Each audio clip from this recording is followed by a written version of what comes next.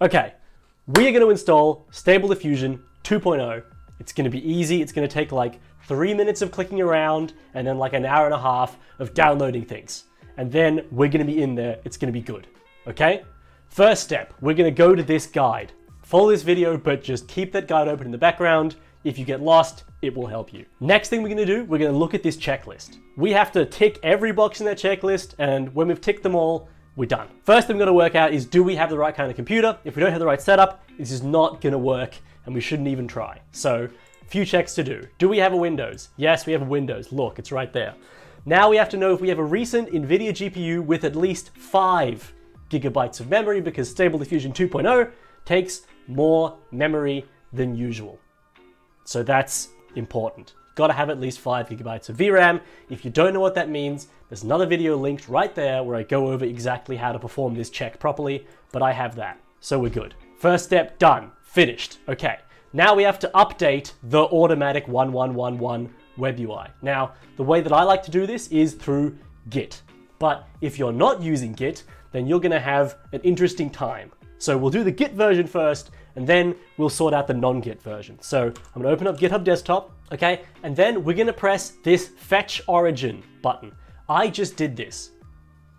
But if you haven't just done this, when you press the fetch, fetch, origin button, it's gonna give you a different option. It's gonna say pull origin, and it's gonna have some number like 900 different changes have occurred since you last tried this.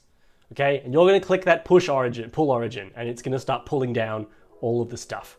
It won't take very long at all because all it's pulling down is code. It's not pulling down models or anything like that.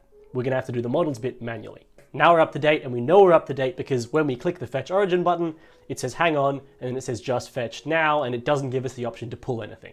So we are good. If you have any changes on your local branch, then that's that's going to be fun for you. You're going to have to stash those changes and then bring them out again, but that's that's for you to worry about, okay? We're assuming that you don't have any weird changes or nonsense happening over here. Okay, I'm gonna close this and I can put a tick here because I'm done. Now, if you're not using Git and you're just using downloading zip files, then you're gonna have to go to the automatic web, web, web UI. The link to this will be in the description, so don't panic, chill. You just click on this code and then you click download zip, and that gives you an archive.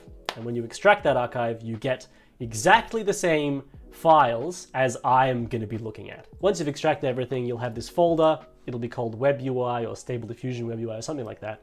And you'll have all these files here. You'll be able to recognize a lot of these files, right? And so you'll, you'll be in the same position as us. The only difference is, and this is why you should not use the zip, this is why you should use GitHub Desktop instead. Because if you use the zip method, then every time there's a new update, you have to download the repository again and then painstakingly move the models over. And if you make any mistakes, then, right, bad time for everyone. But if you use the GitHub version, every time there's a change occurring on this uh, in this repository, you can just pull down the changes automatically, easy peasy, and all your models stay where they are. So you don't have to move anything around manually. Okay, bim bam boom, bim bam boom. Now we need to download the model and the config for the model. So here we are back in the guide, and we've got these nice links. One is to download the model, Let's go ahead and open that in a new tab. And it passes us to this model file. Great, great, great, great, great, great, great. And we just hit this download button. Nice. It started downloading. Now we need the config for that model. I'm gonna right click this, I'm gonna say save link as, and we're gonna call it the same thing. We're gonna call it 768. This is very important that you name it this, 768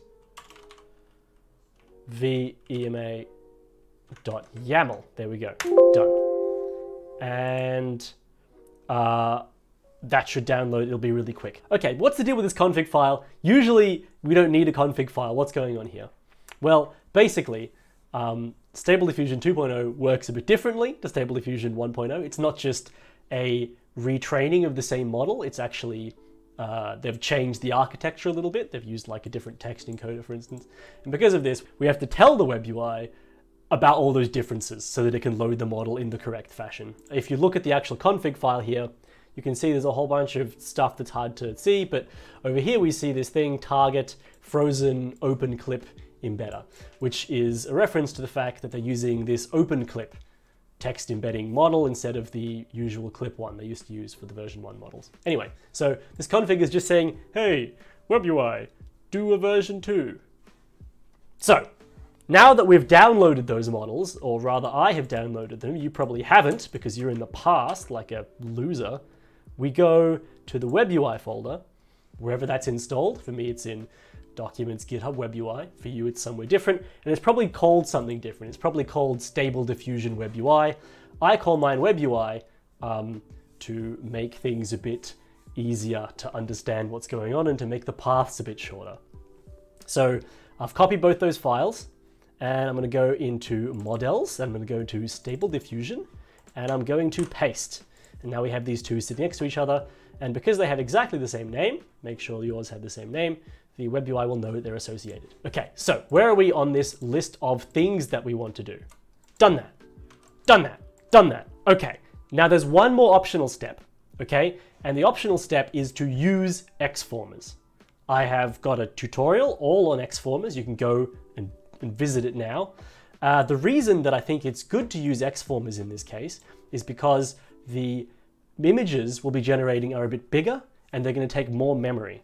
And if you're on a computer that has a small amount of memory, anything less than 8 gigabytes, um, anything less than 7 gigabytes, I'm sorry, 7 gigabytes of RAM, you are going to have trouble. Using Xformers, we can push that down a bit, make things a bit more efficient, and now we only need 5 gigabytes of RAM instead of 7. So that's why I think it's pretty important. The way that we install Xformers is you go to this launch, you edit it. I'm going to open this with VS Code. Actually, no, I'm to open it with Notepad because that makes it easier. I'm going to Control F command line. Okay, here we go, command line args, this is what we're looking for, and then we're gonna say dash dash xformers. And we're gonna save this file. Okay, now, if you haven't used xformers before, this is gonna take a long time, and you really should watch that video on installing xformers. Otherwise, it might not even work at all, and it'll be really frustrating, and you'll, you'll have a sad time. If this is the first time that you're using 2.0, probably don't try any of this Xformers stuff, just run it. Um, if your GPU is in fact big enough to handle 6.4 gigabytes of RAM. Okay, so now we just did that optional step. Last step, we just want to run the web UI script. I'm sure we're all very, very veterans at this. You just double click webui.bat and now we wait. For me, this is going to be sweet and short and wonderful and lovely. For you, it's going to be long and painful and horrible and terrible because you're going to have to download this 3.4 gigabyte file and it's going to be taking a long time. And so suck it, basically. But I'm finished, so that's good for me. We're just going to go to our normal localhost and all we have to do now is make sure the correct checkpoint is selected. So we'll select this checkpoint, 76VEMA CKPT. Uh, it is, yeah, and then the other important thing you have to do is you have to make the images a bit bigger because um, maybe this was something you noticed earlier. Stable Diffusion version 1 was trained on images of resolution 512 by 512, and if you tried to make smaller images, you would get nonsense. SD 2.0 was trained on images of size 768 by 768. So anything smaller than that, and your results will be a bit weird. Okay, so now let's just test it out, make sure things are working smoothly. Okay, it's just a random prompt, just a random prompt, doesn't really pertain to anything. We're just gonna use it to, to test this out. And there'll be a small gap here, and then great. Look at that. Look at that blue bar that we've all come to love and know so well. There we go. And look, that does that does look a lot like you, actually. Now, I can't speak to how good 2.0 is. I haven't really tried it out and played around with it too much. But now we've gotten to the point where it's working on our computer. And I think that's, that's sort of the main thing. Looking back at this guide, the only thing they say that you can't do is training. So let's try an image to image, just for the fun of it, just to make sure that everything's still working fine. So I'll click this send to image to image button. It'll take us right there. That's great. And uh, I'll just make him wearing a hat. And we'll see how that works. Okay, and that's the, the pretty standard bad image to image quality that we are used to with stable diffusion. So it really looks like everything is working. Now, I am going to go to sleep. I hope that this was helpful to you.